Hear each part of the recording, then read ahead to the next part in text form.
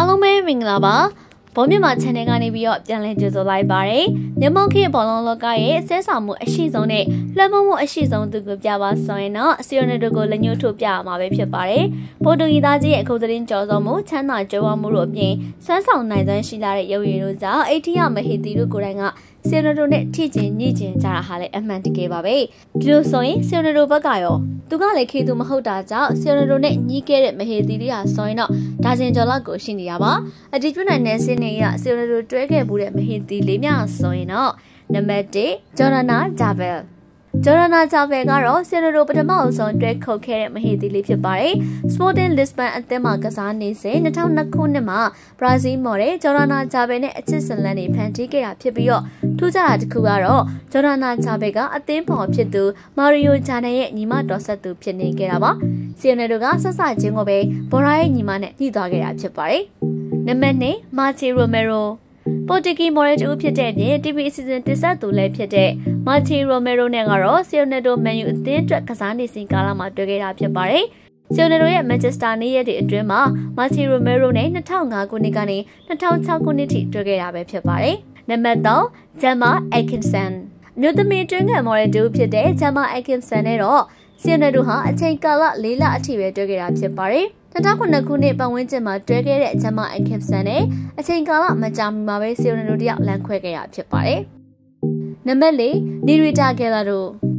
နီရီတာဂယ်လာဒိုကတော့ဆီယိုနီတိုတယောက်ရီယယ်မက်ဒရစ်အသင်းကိုမပြောင်းရွှေ့ခင်2008ခုနှစ်အတွင်းမှာအင်္ဂလန်မှာနေထိုင်နေစဉ်ကာလမှာတွဲခုတ်နေခဲ့တာဖြစ်ပါတယ်။နီရီတာဂယ်လာဒိုကတော့စပိန်မော်ဒယ်တူဖြစ်နေခဲ့တာကမက်ဒရစ်ကိုမပြောင်းခင်တိုတင်စီစဉ်ထားသလားတော့မှမေကွန်ထုတ်စရာပါပဲ။ဒါပေမဲ့စပိန်မော်ဒယ်နီရီတာဂယ်လာဒိုနဲ့ဆီယိုနီတိုရဲ့အချစ်ဇလန်ကတော့နွေရာသီကာလကိုတော့မှမကြော်လွန်ခဲ့ပါဘူး။နံပါတ်9 Irina Sheikh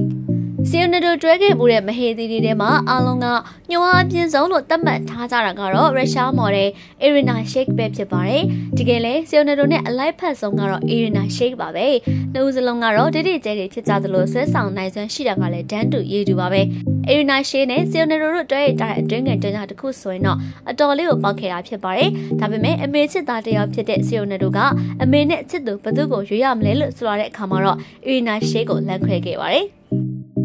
နံပါတ်6 Lucia Villalon 2015အစပိုင်းမှာအီရီနာရှေးနဲ့လမ်းခွဲပြီးတော့မကြမီမှာပဲစီယိုနယ်တို့ကအချစ်တဲ့တစ်ခုကိုလင်းလင်းမမြမဲရှာဖွေခဲ့ပါတယ်။လူစီယာဗယ်လာလွန်လို့ခေါ်တဲ့ Spain TV အစီအစဉ်တင်ဆက်သူမိမလာလေးကစီယိုနယ်တို့ရဲ့အချစ်တဲ့တစ်ခုဖြစ်လာခဲ့ပါတယ်။ဒါပေမဲ့လူစီယာဗယ်လာလွန်နဲ့စီယိုနယ်တို့ရဲ့အချစ်ဇလန်ကများစွာမကြမြင့်ခဲ့ပေနဲ့မကြမီမှာပဲပြီးဆုံးသွားခဲ့တာဖြစ်ပါတယ်။တချို့ကတော့စီယိုနယ်တို့ဟာမော်ဒယ်တွေကိုပဲကြာရှည်တွဲတဲ့သူဖြစ်တာကြောင့်လူစီယာဗယ်လာလွန်နဲ့ဇလန်ကလည်းခက်တူတူနဲ့ပြီးသွားခဲ့တယ်လို့ဆိုကြပါတယ်။ နံပါတ်9ဂျော်ဂျီနာရိုဒရီဂိုစ် လက်ရှိအချိန်ထိတော့ဆီယနိုရိုဘေးမှာရှိနေတဲ့မဟေတီလေးကတော့ဂျော်ဂျီနာရိုဒရီဂိုပဲဖြစ်ပါတယ်။ဆီယနိုရိုရဲ့ရင်သွေးလေးအပါဝင်ကလေးလေးယောက်ကိုပြုစုဆောက်ရှောက်ပေးနေတဲ့ဂျော်ဂျီနာရိုဒရီဂိုနဲ့ဆီယနိုရိုရဲ့အချစ်ဇလန်ကတော့အခုချိန်ထိတည်ငြိမ်နေတာဖြစ်ပါတယ်။မော်ရတူဖြစ်နောက်ပိုင်းမှာရက်တည်နေတဲ့ဂျော်ဂျီနာရိုဒရီဂိုအနေနဲ့ရခင်ကစပိန်နိုင်ငံမှာရှိတဲ့ဆာရာစတိုးဆိုင်တစ်ခုမှာအယောသမားလေးဖြစ်ခဲ့ရကနေအခုလိုမျိုးဆီယနိုရိုနဲ့အနီးဆုံးလူဖြစ်နေရတာက